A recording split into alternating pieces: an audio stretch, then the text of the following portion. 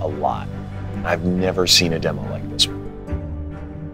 The, the most interesting product demo that I've ever had in my life.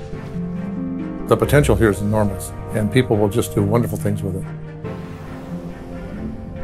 We're about to undo 30 years of complexity that computing has brought into our lives.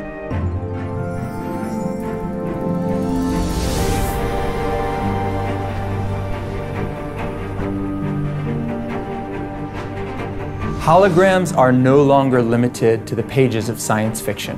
You can now touch them, you can see them, and you can even collaborate with them. This is the Meta 2. It's the most immersive augmented reality on the planet.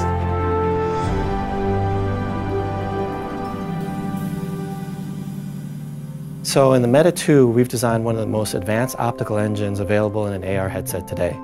We have designed a 90 degree field of view which gives you a totally immersive experience with the virtual objects around you without having you feel like you're looking through a very narrow window. One of the biggest pain points we've heard from past developers in AR headsets is resolution. So in our latest advanced optical engine, we've included an extremely high resolution display. We designed the Meta 2 with developers in mind. It's really a tool for developers to wear for an extended period of time.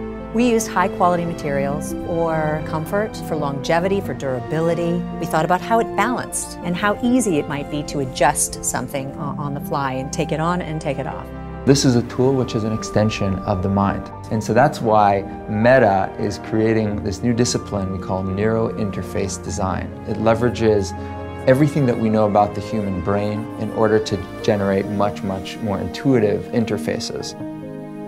So when you get our Meta 2, uh, out from the box, you get an SDK tool that has a lot of different features.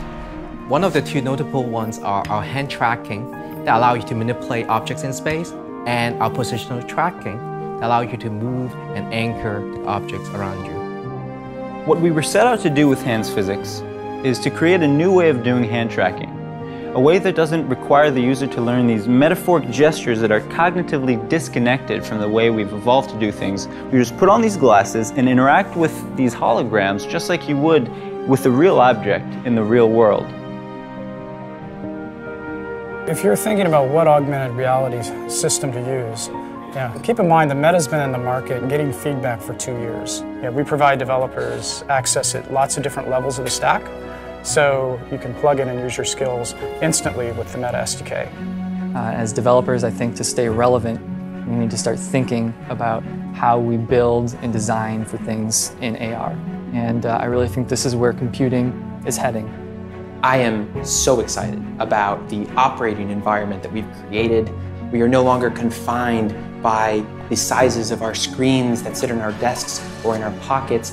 We are now able to make the entire world our desktop background, and this makes the possibilities endless. This kind of a product represents a new era in personal computing and nothing less. And these kinds of paradigm shifts happen very, very rarely. So to all you developers out there, this is your chance to change the way that we work, we learn, we shop, and we play. Join us in this brand new meta reality. Thank you.